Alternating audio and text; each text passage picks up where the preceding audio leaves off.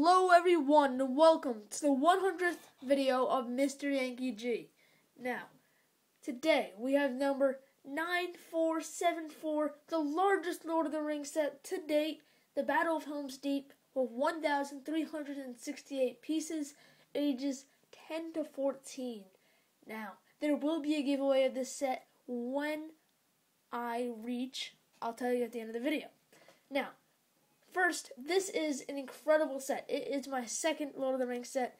The only other one I have is Attack at Weathertop, but I will be getting all the new ones, all of the, all four of the new summer 2013 ones, all but the Orc Forge, which is really not a very good set if you ask me, of the 2012 sets, and most of the Hobbit sets. So, I will be re- reviewing all those along with New City, Star Wars, Coast Guard, and you know Coast Guard City, Lord of the uh, I said Lord of the Rings, Castle, you know Lone Ranger, all the new themes. I review, reviewing a lot of the sets.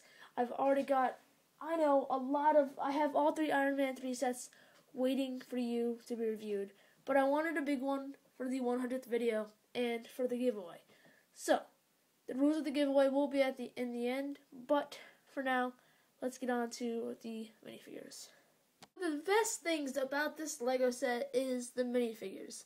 Two of the three of the minifigures are exclusive, and yeah, that's just pretty awesome. Now, Aragorn and Gimli at the time this set was made were only available in one other set. Now they are available in two. There's two new sets well, Gimli is available in the pirate ship, and Aragorn also in the pirate ship, the same torso, but in his king outfit in the Battle of the Black Gate. But that's not important. For now, right now, all we're talking about is Aragorn. He is great. I love the new steel swords they're using um, in Lord of the Rings and some of the new castle sets. And it's really just a much a step up from the older swords. It looks much more like a real sword and you can see it has the numbers there, but it just looks very nice. Looks custom almost. It looks like something you might get from Brick Forge, Brick Forge or Brick Arms or some custom site like that. Now he has some really nice light printing down there, and he also has some great torso printing with his necklace, and he's got great face printing. He's got just a tad of back printing, not much. Can barely even see it. Uh, you guys can see it somewhat. Just a few lines. But this is another thing I love about these Lord of the Ring sets. Almost every minifigure comes with a double-sided face. Every single single figure in this set comes with a double-sided face. On the back, he's a little bit more angry, but still awesome. Next is Gimli, and as I already said, at the time he was exclusive to only two sets, and now he's exclusive to only three. He is a great minifigure and comes with two axes, one of which is much bigger than the other. Now, without his printing, or without the, his weapons, his helmet looks absolutely great with some incredible printing all around.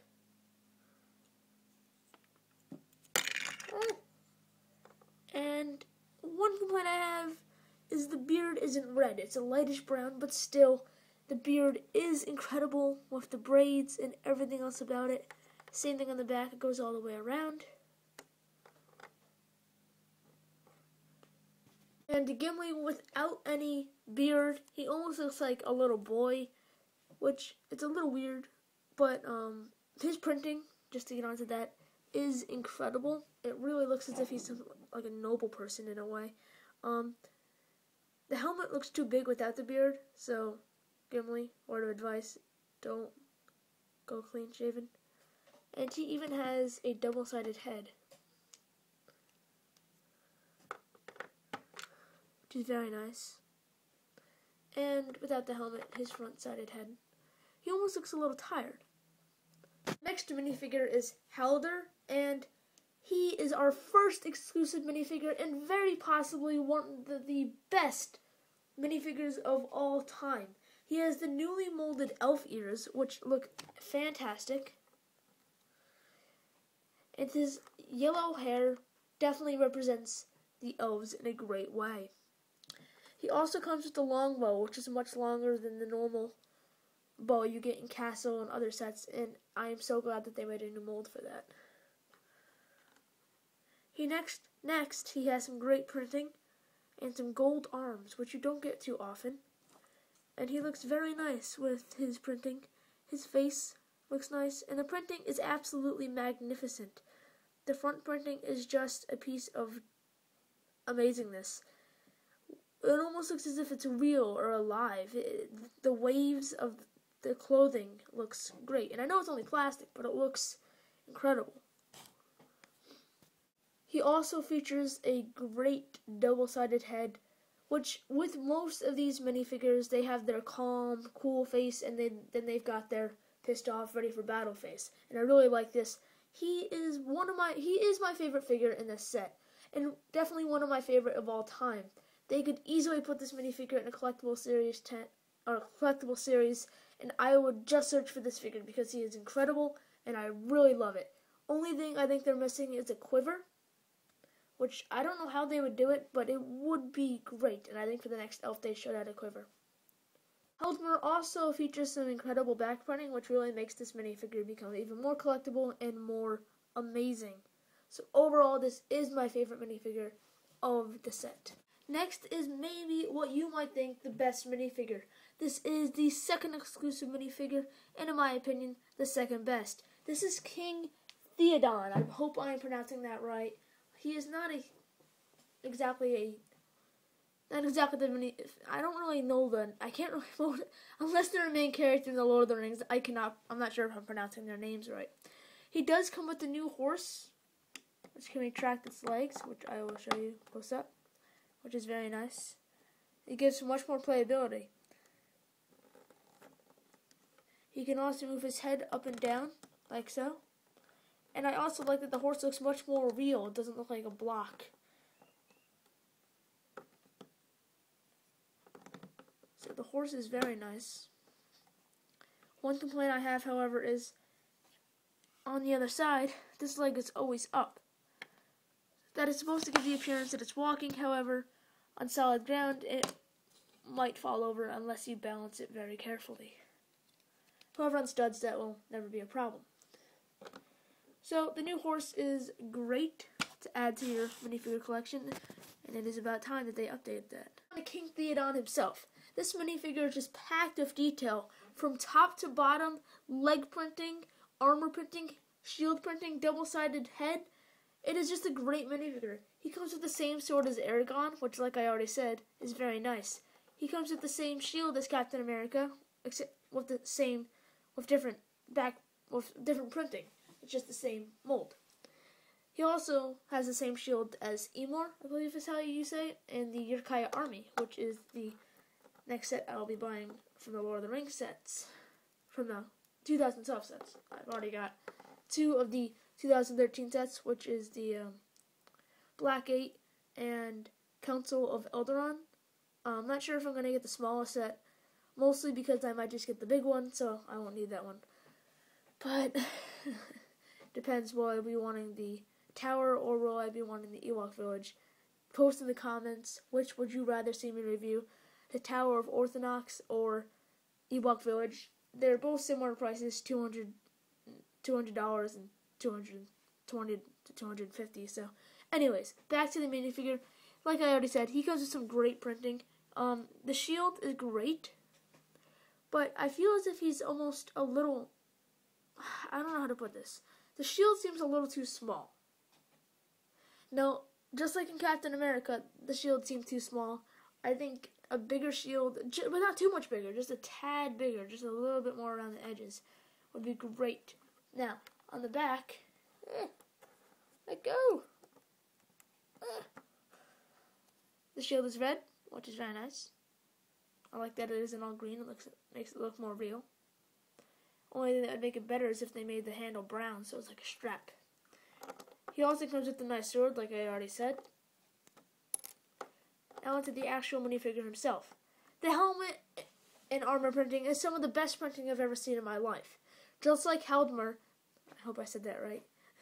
It is a very, very good looking minifigure. Clean, but amazing. The actual minifigure, got a fuzzy there. The actual minifigure is just downright outstanding. There is no back armor printing, but I just want to talk about the helmet for a second. The helmet is a new mold. It's curved, printed. It almost looks like a Roman helmet, but not not the same thing. It looks very smooth, and I love the gold and the way that it just kind of brings it, ah, brings them out. His armor printing has almost a, a flower on it, and no back printing. Take off King Theoden's armor and helmet, you'll find that he has an incredible shirt and uh, garments underneath. Now, his obviously his leg armor can't come off because that's just the figure and basis, but he does have a bit of a belt down there, which I love. Now, this minifigure does again come with a great back face, but I don't really like the back face. It looks more like he's constipated, so I don't know. Do you guys agree? But I will say, this figure really took on, or Lego really took on a great job with these figures, and this figure is incredible. He has incredible printing and really just a great set to see. I will say that his torso almost looks like a noble's, like in you know, ancient times. So I wish they gave him a hairpiece too, and then you could have them in MOCs and stuff. Next, we have our Uruk-hai. These are the bad guys in Lord of the Rings. And this is an exclusive minifigure, and I'm not exactly sure what his name is, but in the movie, they're kind of Japanese kamikazes. They're suicide bombers. They wear no armor, and basically they just run full speed into uh, into a wall, and they carry these bombs, and they carry torches, and have great crazy painting, and everyone cheers for them, and then they blow up the wall and kill themselves. What a great job! That's what I be when what I want to be when I grow up. That's probably what they tell your kids. Son, when you're older, you can be a kamikaze. Really? Just like we tell our kids, maybe one day you'll be president, son. This is how they what they tell their kids. Anyways, he's kind of basic, but being that he's an exclusive minifigure and a great idol, he looks great. The painting on his face is really brings it out, and he has uh, I'm gonna say a four pack. I don't really know.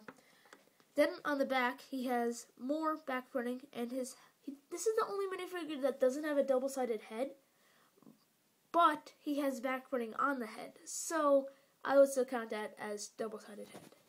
Next off, we get three Uruk-hai, which you also get in Uruk-hai Army. Now, all of these figures have the same exact printing, same exact head, and same shields, same swords, same helmets, and the same armor for these two. So, I'm just going to show you one, and then you can kind of base off of the others. This one comes with a shield and a axe, so nothing too special with him. This one comes with only one sword, but they give you an extra sword, so I gave him a second. And then our model, Uruk-hai, is got a great new molded shield and a new Uruk-hai sword. And the helmet looks really great. Underneath, that is his upset face.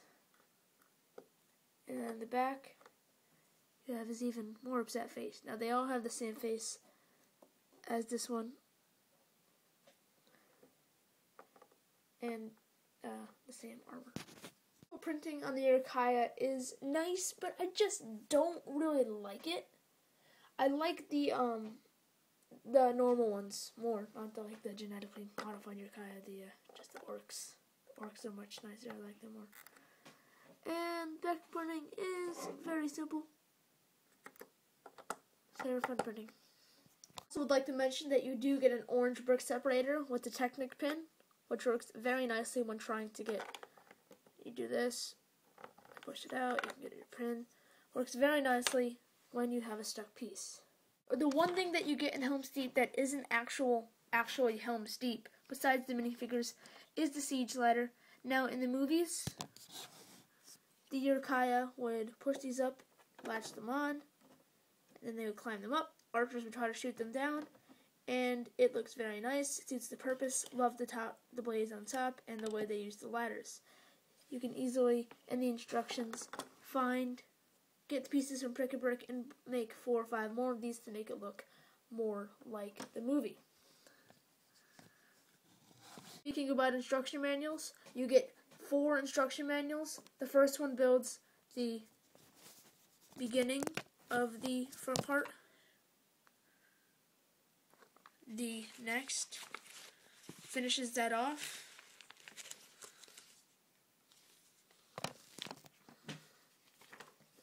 It's the same exact front. The third builds the small part of the wall and the tower. And the fourth is the keep, which I lost the instruction booklet. Sorry. Now for the actual set. I just want to first give you an overview of the entire set. It is big. To start off, I am going to start off here at the wall, or at the bridge. Now, this bridge is pretty long. As you can see, it's starting to go off my blue poster board. But one problem I have is, why, LEGO, did you make this play feature, if you can even consider it that? You open this up and you make the skeleton. Because of that, now there's a crack there and it doesn't look solid. That is one of the cons of this set. Here you can see that Aragorn is fighting off some Uruk-hai, and this is our second, call the first one, play feature. In the movie, Aragorn and Gimli sneak out this back door, as you can see here, which is very nice. Which opens to go into the main part of the castle. Of course, you'd have to crouch to get in, but, well, at least Aragorn would. Now, the play feature is in the movie, phone is ringing, dot, there's an animal in trouble. Sorry. In the movie, they, heroes, want to go and fight these Uruk-hai, which are trying to break down the door.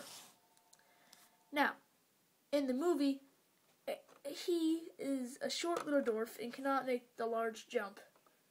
And in the actual movie, as I keep saying, there is a large, this is a kind of a cliff. It's very high up. It's probably a 30 feet foot drop. Aragorn, being a big, strong human, decides to throw him over, which is our first play feature. Now, I guess the play feature is flick this and you try to hit the Uruk-hai. So, here is goes. You can see, doesn't work too good when they're on studs, but it will get him over. Now, when you don't have the Uruk-hai there, it works much better. Oh, it keeps turning the head head. It doesn't seem like it wants to work, probably because of the big axes. But you get the general idea, and if then you can have Aragorn jump over too. Now, now onto the actual front of the castle. You can see these doors are very large. I like the doors and they look very good to suit their purpose. However, one complaint I have is there is no way to barricade the doors. Ah! But really, all you have to do is take flat one by two piece, go in there, sit up, and then even my finger, it takes a while for it to break. See, so that's not a problem at all. So all you need is a little piece. Now, the doors open very nicely, and looking in, you can see the keep. The keep makes it seem as if the castle is endless and large, larger than it actually is. Because of the keep, it looks, ah, squeaky. Get the light in there. I need better lighting, for sure. Because of the keep, you can actually see in, it looks as if the castle goes on for much longer. Higher up now, you can see that there are these that close, open and close. These are for archers to shoot down, but they can't shoot back up and hit them. Also, LEGO, instead of giving you another minifigure for an archer, decided to give you some rocks. So, Heldmer can throw rocks down at the enemy. Also, we get a small catapult to throw the rocks over, which I'm sure all of you know how to do that, so we don't have to waste time going to retrieve that. We also get a Rohan flat. Ah, go on. We also get a Rohan flag, which the gold and green looks very nice. And we get a torch. Really like how the just the front of the building seems so big and powerful. In a way, instead of making it an even number, Lego made this a seven studs wide building, so on either part. And the middle is eight studs. This looks very nice, and I love the way the curvature goes around very nicely there till the end of the building. Now, as I said before, there's a door here that you can open to get inside. The Battle Helm's Deep also has a modular mindset, so you can pull certain parts off. Now, I believe it pulls off here, pulls off here, pulls off here, and this is empty on its own. Moving on, you can see the siege towers here, and it easily just hooks onto the parts between. Now, moving on to our next play feature in a moment, this part right here, I know I'm causing a shadow, looks very nice with the curvature. Eh.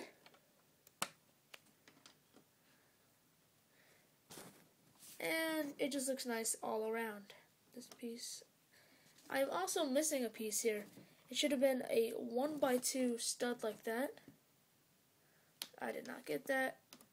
So, not the biggest deal in the world. Next play feature is supposed to be the wall blowing up. So your kamikaze Uruk-hai runs up and he drops the bomb here on the river pieces, which look very nice. Now, when he drops the bomb, the way it works is back behind here. There is a lever. So when you pull that lever, push it down, it explodes. It works very nicely, I realized, if you do it the opposite direction that you pulled it. This will pull that up, but it's not that much better, and it makes this part, which is so much more heavier, explode along with it. Up high here, you can see that we have this tower which overall looks very nice and, of course, big. Now, I know LEGO tried to make this set the best of their ability, but this is one again, once against, once again, another con. This tower should be at least this high, just like the wall over here, which should go stretch all the way out here. So, if you ask me, just make it bigger yourself. Go to Pick a Brick and get some pieces. Now, I don't know why you can lift these up. Maybe so you can look at the look at the stickers, which are some of the. These are the only stickers included in the set, basically. On either side. Well, no, there's a. My bad. There's also some in there, but really not too many stickers included in Helm's Deep. Now here along the back, you can see. Uh, there is ladders going all the way up, and there is a horn that Gimli or someone else is supposed to blow to warn the other people or to give battle orders. Down there you can also see there's another door in case they need to escape. That is it for the main part of Battle of Helm's Deep. Now onto the keep. The actual keep is a very quick build and only requires around 50 pages of building. These pieces really make up a large amount of the building time. Up here you can see there's more walls. And all along the side you have the greenness of Helm's Deep. This lifts up so that you can connect to the other part if archers or soldiers need to run along. There's also another Rohan flag. I wish they included one more Rohan, flag here so it didn't look like they were all based in the center. Now, this is really the only playability in the inside of the Battle of Helm's Deep. But if you watch the movie, the Battle of Helm's Deep does not actually have that much inside the wall besides where they keep all the humans. Like like not the soldiers, like the the children and women, so they don't die Anyways, you can see there's two.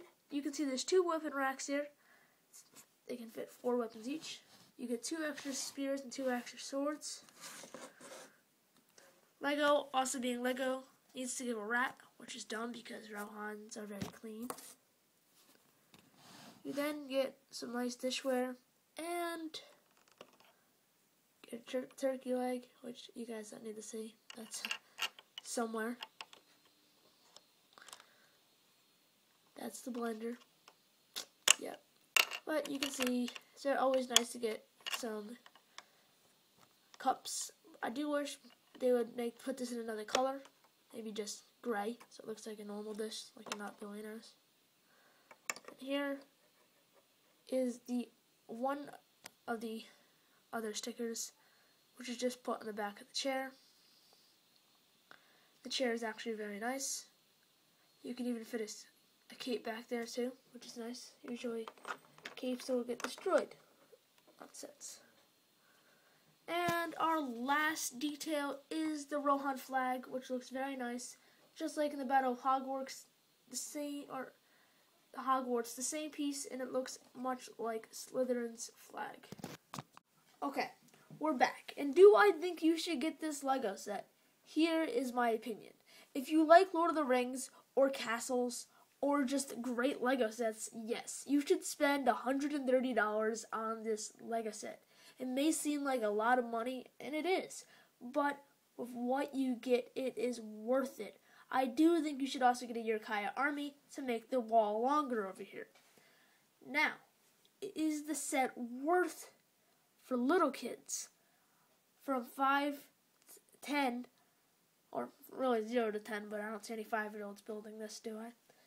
From 5 to 10 young kids, I don't think so. I'm going to give this set a 5. If they really want some Lord of the Rings sets, get them Uruk-hai Army. Still got the awesome figures. They still get that little bit of a castle. Or you can get them the kingdom set, or the castle sets, I'm sorry. And they'll be just as happy. Now, older kids, 11 to 16. Yes, yes, yes, yes, yes. Like, oh, I didn't give the rating to the younger kids. Younger kids are going to be a 5. It's a great set, but not for them. Older kids, yes, yes, yes, yes, yes, yes, yes, infinity. 9.5 out of 10. I only have four cons, and I'm going to get to those in a second. Now, adults, 17 plus. Is this set really worth it for you? Well, if you're a collector of Lord of the Rings or Castle, yes. I do think so.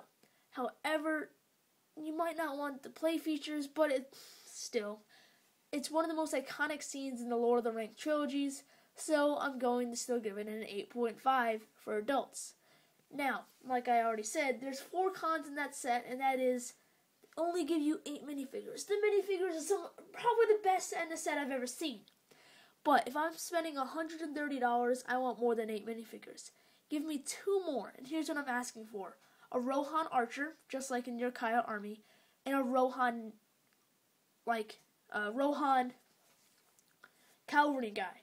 Now, you do get Emor in the other one, but he's, like, high up. He's not just a normal guy. So give us a normal guy, and then you'd have another exclusive figure. That'd only be 10 figures, and yeah, I'd pay five, ten dollars more for those two figures. Now, the next cons are the wall isn't big enough, and of course I know, yeah, they made the other one, but just make it a little longer. Third, yes, that is not long enough, tall enough, but again, it's not really a con neither is the wall. It's just Lego. They have they can't fit all. If you want a bigger tower, build it yourself. Just buy the pieces off and pick a brick, and then just every time they tell you to do a piece, use two, and you'll get that tall. tall. Now, last con is they didn't give you too many flags. They only gave you two flags, and this is a really one of the only cons.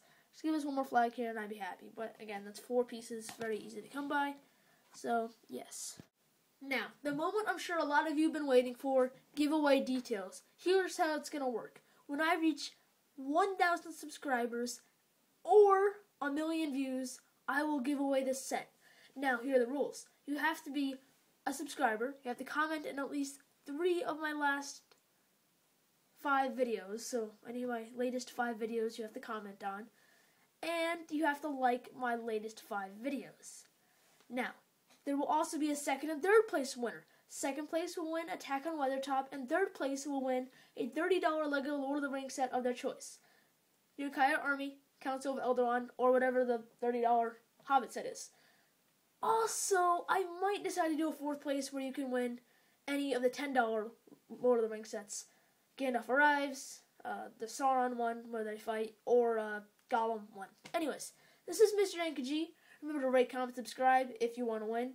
And I'll talk to you guys later. Our next re- review will be Iron Man Malibu Mansion. Remember to check out MrYankeegStudios.com and go to my gaming site at Mr. Gaming.